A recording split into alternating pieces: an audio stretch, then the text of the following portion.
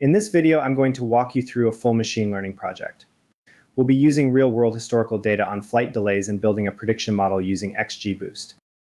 We'll walk through data pre-processing, feature engineering, exploratory data analysis, model training, and performance evaluation, all within less than 13 minutes. By the end of the video, we will have covered the full process of a machine learning analysis. But before we begin, if you find this tutorial helpful, please like and subscribe to the Deep Charts channel for more videos on how to implement advanced machine learning techniques. The first part of our workflow is to import the relevant libraries. The Pandas library will be used for data manipulation and wrangling, and NumPy for numerical and mathematical operations. We'll use the XGBoost library for model creation and generating predictions, but you could alternatively try out a different model from the scikit-learn library or other libraries. Scikit-learn is used for various utilities such as splitting our data into training and testing data sets, as well as the calculation of evaluation metrics. And finally, Matplotlib and Seaborn are for data visualization. If you don't have these libraries installed in your Python environment, you can install them by running pip install, followed by the library names in your command prompt, terminal, or Jupyter Notebook cell. The next part of our project workflow is to import our dataset. I'll be using this flight delay dataset that was posted to Kaggle. It is an extract of nearly 500,000 flights that either began or ended in the United States by different US air carriers. You can find a link to the dataset in the video description below. While this walkthrough will use a clean and prepackaged Kaggle dataset to simplify the data processing steps of this tutorial, I encourage you to look beyond websites like Kaggle to find data for machine learning projects. Now, since we've identified our dataset, we will load it into our Python environment using the pandas read CSV function, and then use the head function to glance at what the data looks like. There are lots of columns in this dataset, and you should take the time to explore them. The current machine learning project aims to create a model for predicting airline flight delays, so I'm going to subset the dataset to only a few specific columns that will be relevant to this task. This includes the day of the week of the flight, the date and departure time of the week, the airline, and the origin and destination. The carrier delay column represents a flight delay that is the responsibility of the airline itself. This variable is coded either 0 for no delay, or 1 or above representing the number of minutes that the flight was delayed. I can next check for any missing values for any of the variables by combining the is null and sum functions on my data frame. We can see that there are none here. If there were, we would have to make a decision about whether it makes sense to drop the rows of our data that are missing or whether to use some sort of imputation method to fill them in. We can now move on to some light feature engineering. I'll start by converting the date column into a pandas datetime object. This will then allow me to extract the month and the day as additional features for the model. I don't extract the year column since the majority of the observations are from a single year. We'll drop the date column since it is no longer needed. The XGBoost library does not allow categorical data into the model. We therefore need to encode these features into dummy variables, alternatively known as one-hot encoding. The pandas get dummies function, with the drop first argument set to true, will create these dummy variables while removing the original categorical features. We next recode the carrier delay column into a new binary encoded variable as our target, which we'll name as delayed 60 plus. I use the numpy where function to first set the condition. If df encoded is greater than 60 minutes, then recode the value to 1, otherwise recode the value to 0. This 60-minute delay condition as our target variable is somewhat arbitrary. I chose it because it represents a substantial, quite annoying delay of a flight. You could alternatively choose 30 minutes, or 2 hours, or even keep the original numeric encoding of the carrier delay variable, and then model the target as a continuous measure. These decisions should be justified by domain expertise and theoretical knowledge of what is the best measure. At this point, all of our features in Target have been adequately prepared for analysis. We will next define the features as an object called x and the target as an object called y. This allows us to then use the train test split function from the sklearn library. We set x and y objects as arguments, select a percentage of the dataset that we want to split by, here 30% into the test set and 70% into the train set. And then choose a number for the random state so that we can have a reproducible workflow. Our data is now ready for exploratory data analysis or EDA. It is important to do the train test split prior to doing EDA because we want to build our model based on unbiased and unseen data. If we perform EDA on the entire dataset before splitting, we risk introducing data leakage, where information from the test set inadvertently influences the model. This can result in overly optimistic performance metrics during evaluation, as the model may know patterns from the test set. By splitting the data first, we ensure that our model is evaluated on truly unseen data, providing a more accurate measure of its real-world performance. To start exploring the data, I use the pandas concat function to reconnect the x features with the y target variable. We do this instead of merging because we know that the identifying index rows are already aligned between the features and the target. I then take our already created list of the categorical features and use a for loop to reshape the data frame by converting the one hot encoded dummy variables back into their original categorical form. This is done by identifying the one hot encoded columns for each category, selecting the column with the highest value, and replacing the dummy variables with a single column representing the original categorical feature. If we print train underscore set, we can now see that this train dataset matches the original structure of the data. We can now do some EDA.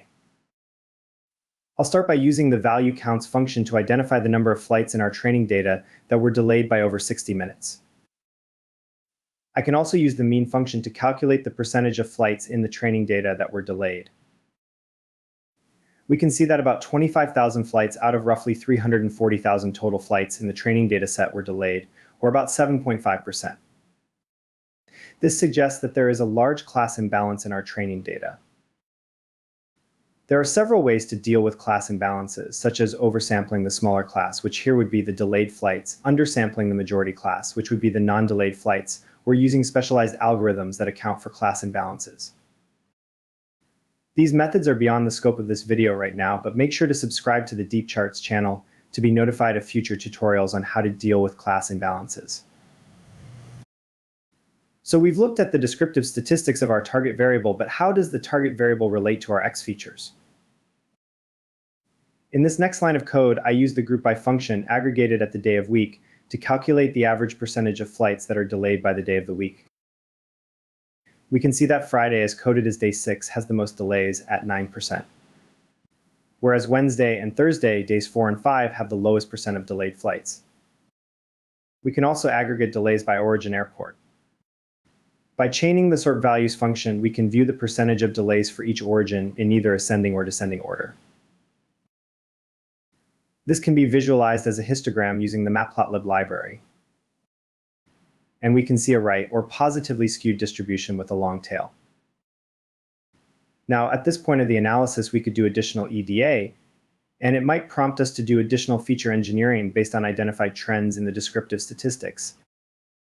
However, to keep this video concise, we will now move on to the model building process. From the XGBoost library, I will call the XGB classifier function and set the random state argument to an arbitrary number for replicability and the eval metric to log loss, which will be used by the model internally to score performance while training the model. We save it to an object that I'll call XGB model, and we can peer into which arguments are set by default and those which we just set ourselves. We can now fit the model to the training data, followed by predicting on the X-test dataset.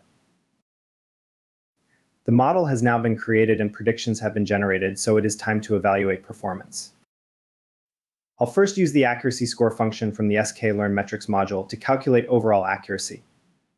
This first takes the y-test values followed by the y-train values. And the accuracy score is very high at over 92%. But this might be misleading, so let's look at the confusion matrix, which was also imported earlier from the sklearnmetrics module. What we see now is a 2 by 2 matrix with the true negatives in the upper left, the true positives in the lower right, the false negatives in the bottom left, and the false positives in the upper right. It's clear that the bulk of delayed flights have been predicted as false negatives in the bottom left cell of the matrix, while only 86 have been accurately predicted in the bottom right cell. Therefore, our high accuracy score from before is misleading, not due to strong model performance, but because the number of delayed flights is so low that the model performs well simply by predicting most flights is on time. Another way to assess model performance is by calculating the area under the curve metric and graphing the receiver operating characteristic.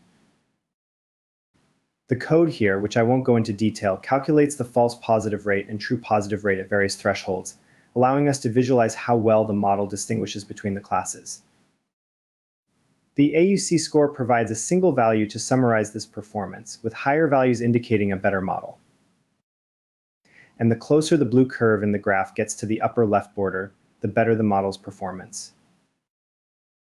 So we can see that the XGBoost model we created is not very high performant. We could do additional tasks such as feature engineering, feature reduction, or hyperparameter tuning to improve the model's accuracy and performance. For this video, I'll show you how to get started with hyperparameter tuning. We first set up a parameter grid with alternate values for key hyperparameters such as the learning rate, the max depth, and estimators and subsample. These are just a few hyperparameters that control how the model learns from the data. You can check out the resources in the video description below to get a better understanding on what each of these do. Next, we initialize the XGBoost model with a random state for replicability and set the evaluation metric to log loss. Then we set up Grid Search CV to perform a cross-validated grid search over the defined hyperparameters. We place the parameter grid object as the parameter grid argument, and here choose three folds of cross-validation. Finally, we fit the model using the training data. This type of grid search hyperparameter tuning can take some time, especially on a laptop. The grid search CV function will evaluate different combinations of hyperparameters using cross-validation and return the best performing model. This approach helps us optimize the model's performance by fine-tuning the hyperparameters instead of relying on default values. Once all cross-validated combinations of hyperparameters have been run, we can check out the parameters with the best performance and assess the accuracy confusion matrix and area under the curve. We can see that the accuracy is practically the same, but an additional 100 delayed flights have now shifted from the false negative quadrant of the confusion matrix to the true positive quadrant. The area under the curve score also only marginally improves. To really improve this model, we would have to do additional feature engineering, make better decisions on what features to include in the model, and then add a wider range of values to our hyperparameter grid search. Let me know if you are able to substantially improve the AUC score in the comments. And if you enjoyed this video, make sure to like and subscribe to the Deep Charts channel for more machine learning and data science tutorials.